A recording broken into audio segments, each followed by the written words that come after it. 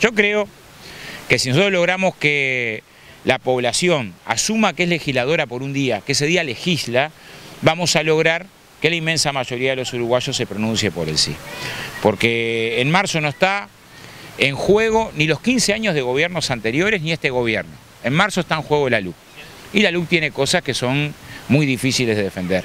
como normas que favorecen el lavado de activos, como haber sacado al rector de la universidad del Sistema Nacional de Educación Pública o a los maestros del Consejo de Primaria, como quitarle la posibilidad a un juez,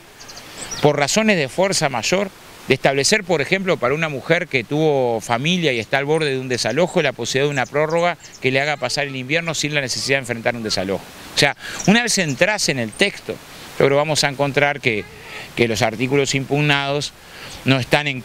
consonancia con la sensibilidad mayoritaria de los uruguayos y las uruguayas. Eh, usted dice, se va, esto es sobre la luz y se va a, el referéndum es la luz, mm. pero no se puede llegar a viciar en algún momento la campaña con situaciones de gobierno normales y que se lleve a, lo que se ha hablado, un plebiscito a dos años de la, de la gestión de la calle. No, es probable. Yo imagino que una familia que está en el sistema de tarifa básica de UTE, y, la excluyan del sistema de tarifa básica y pase de pagar 800 pesos por mes la luz a 1800, de repente se enoja, se molesta y por esa medida de gobierno, o un trabajador del puerto de Montecón que en enero iba a quedar sin trabajo, ahora decidieron que quedara sin trabajo en abril, pero creo que tiene que ver con el referéndum, pero, pero un trabajador que queda capaz que dice, bueno, estoy enojado, pues yo creo que hay que intentar ir a la discusión de los artículos.